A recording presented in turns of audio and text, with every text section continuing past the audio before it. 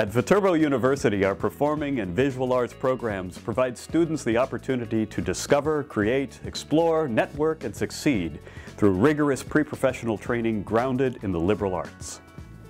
As a regional and national leader in arts education and programming, Viterbo helps students discover their creative potential and hone their craft by working closely with faculty mentors to have that environment where you feel so supported and you really feel like your professors want to see you succeed not only as a student but as an individual, it's the absolute best environment you can possibly be in.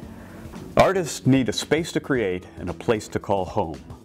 Viterbo's first-rate facilities include studio, rehearsal, design tech, gallery, and performance spaces in the Fine Arts Center and at the Weber Center for the Performing Arts in vibrant downtown La Crosse.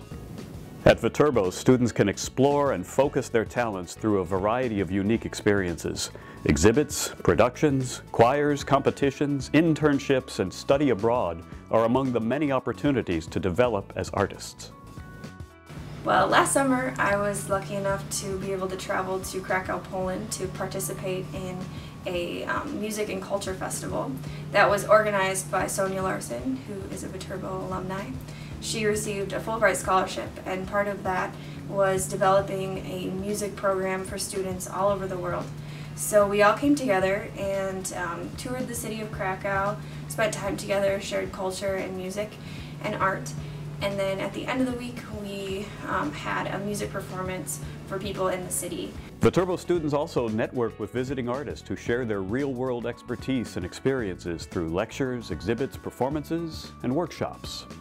We're singing with one of our former students who is on Broadway.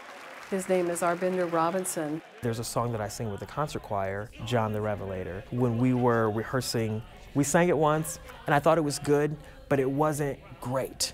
And I think that whatever we do at Viterbo has to be great. Arbender came on and he said, no, no, you don't understand. This is the living gospel and we have to be on fire with this message. The energy that he brings to the piece is so electric. It was, oh my gosh, it just totally transformed the whole piece. He draws us in and we're like, just the energy level just skyrocketed. I was able to bring them to a performance level that I don't think they realized that they had the, the rite of passage to actually go that far. His example was riveting and elevated the experience for all of us.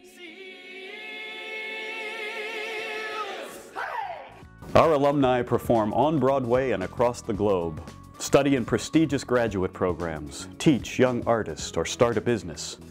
Recently, I was awarded a full tuition at Indiana Jacobs School of Music in Bloomington. I have full tuition, um, I get a stipend that covers um, cost of living, and I also get a TA position where I'll be teaching undergrad students. And how Viterbo prepared me for that, you sing in front of your peers and your voice teacher and another voice teacher, and they give you ideas of what, how you, to present yourself better um, for auditions, which I was uh, I was given the comment of how great my audition was. I presented myself really well. I owned the room, they told me, um, and that's from all those hours of um, practicing. One hand free to lift that hat to me.